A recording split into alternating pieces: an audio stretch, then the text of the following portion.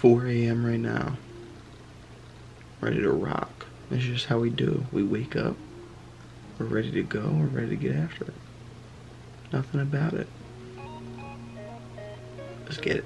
So there are two main benefits to getting up so early. Right now it's currently 4.54 um, and the first benefit that I really want to talk about, going for the next four to five to six hours sometimes, I could go my whole morning without having a single distraction.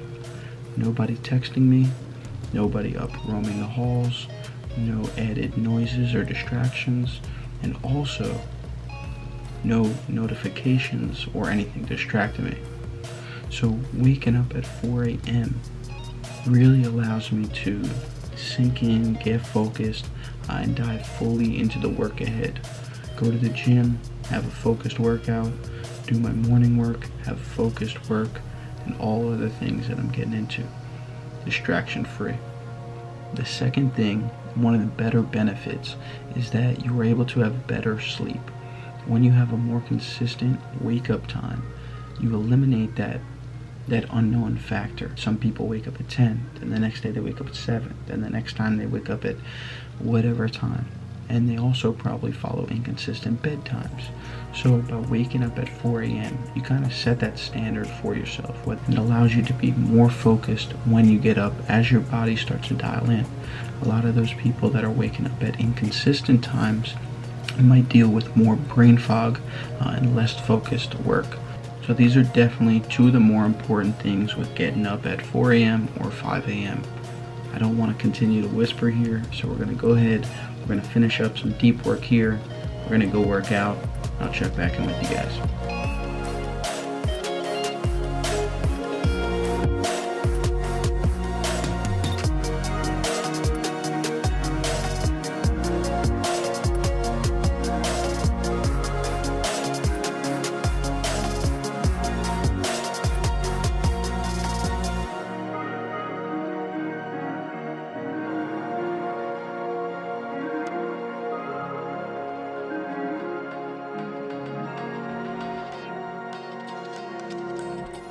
What's going on everybody? Welcome back to my channel. I hope you are doing well. If you are new here, be sure to hit that subscribe button as it shows your support for this channel and my vision.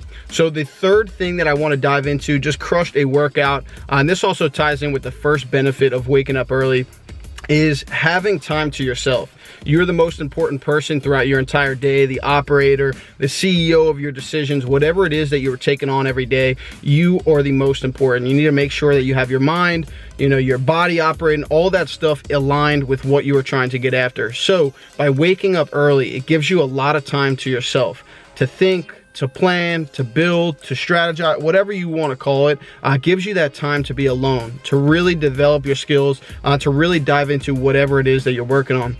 So by having this alone time, right, when the day gets started, you have work, you have priorities, you have family, you have school, you have all these different things that you are trying to take care of uh, and that are consuming your mind, right? So by waking up early, whatever your prioritize is, you're able to really focus up and make sure that you're getting that stuff completed. So for myself, you know, if I was just working a job, now I was able to go to the gym beforehand, right? Because as the day progresses, as these things continue to pop up in our day, obstacles, barriers, challenges, again, whatever you want to call it, whatever's taking place in your life, we tend to come home from work, we tend to come home from school, we're tired, we're overwhelmed, and we don't want to do the things that are important to us. So for myself right now, for the goals that I have for 2022, working out and my health is super important. Uh, so being able to have this extra time before anybody else is up or before a majority of people are up in the world, uh, I'm able to conquer that workout, still come home, shower up, what you're about to do, and then dive right back into work. So let's get into it. Let's get back to work.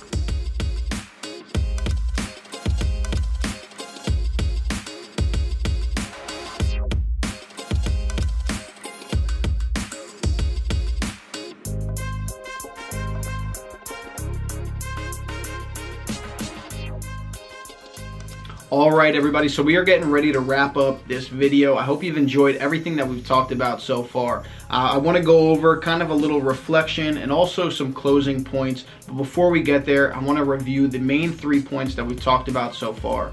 So the first one that we discussed was the distraction-free time, right? So if you wake up at 4 o'clock in the morning, you possibly have three, four, five, or even six hours, you know, getting up till 10 a.m., allowing you to go distraction free, right? Less notifications popping up, uh, less noises in your house, your work environment, uh, and ultimately really being able to focus and dial in. The second thing that we talked about uh, was less brain fog, right? Being able to go to bed at the same exact time every single night, as that will help us be able to wake up at the same time every single morning. We're going to be able to wake up a lot better, a lot more, you know, fresh, more energy, uh, and it's going to really help us, you know, again, go along with that productivity side uh, and allow us to focus up even more.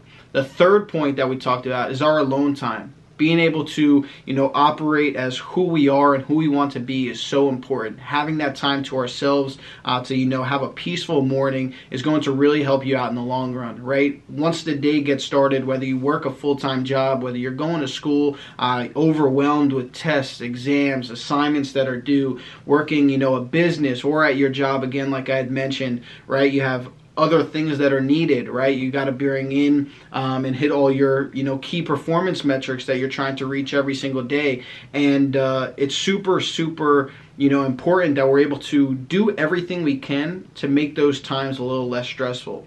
And it's also going to lead us into our fourth point, uh, but still staying on the third point, right? Having that morning to yourself to really prioritize your goals. For myself, working out, like I mentioned, is a big factor of this year. Uh, one of the main things that I want to prioritize. So for me to be able to wake up early, knock that out before, you know, 90% of you know the east coast might be up or even you know the country it really allows me to get that out and still have a productive day knocking out every single thing that i'm setting out for.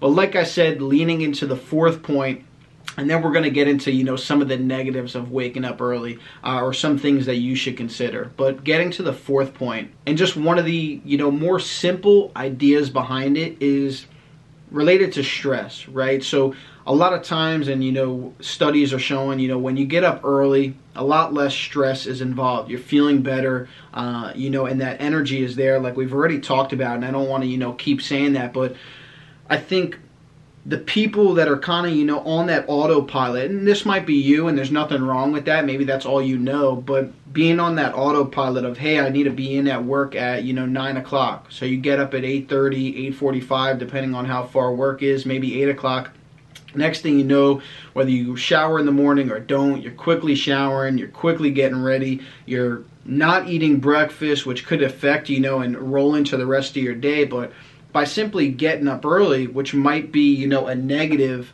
in the beginning, right? Because it's not an easy thing to do. If you currently get up at 9 and to go from 9 to 6 a.m., that's a tough task to take on. Uh, but the whole idea behind this is hey, if you're able to get up early, really to prioritize yourself, not even goals, but just yourself, taking care of yourself, making sure that you have enough time to get dressed, making sure you have enough time to, you know, stay organized, have all your work stuff ready, have all your business stuff ready, have all your, you know, school assignments in line or your papers that need to be, you know, worked on or handed in, right? Having all that stuff organized uh, can really be a main benefit of getting up early um, and prioritizing that time for yourself this way you're not running around and rushing for whatever it is that you need to get out the door, right?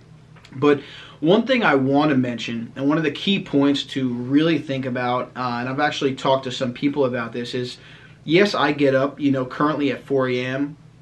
Our day is tough to get up, yes, right? So if I get up, you know, at 5 or 7, even if I get up at those times, I'll still be able to hit every single thing I do, right? So why would I get up at 4 a.m.? It's just something that, you know, I've not fallen in love with, you know, yet, but something I've really enjoyed, you know, just having that time, again, extra time for myself in the morning.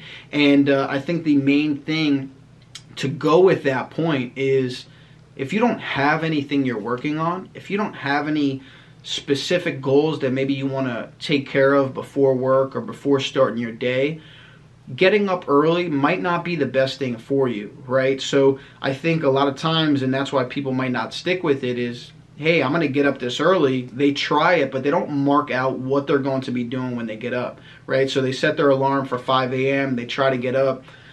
They're sitting in their chair, they're sitting downstairs, whatever it might be, you know, uh, and they're trying to figure out hey, what am I supposed to do with my time, right? So obviously it's not going to last very long for yourself if you're not sure of what you should be doing with that time. Uh, so I think that's definitely one of the things to consider is, hey, do you do you have to do anything, right? Because you getting up early is not going to set you up in a good situation if there's nothing to do, and it actually might even make you more tired that way if you don't use it to your advantage.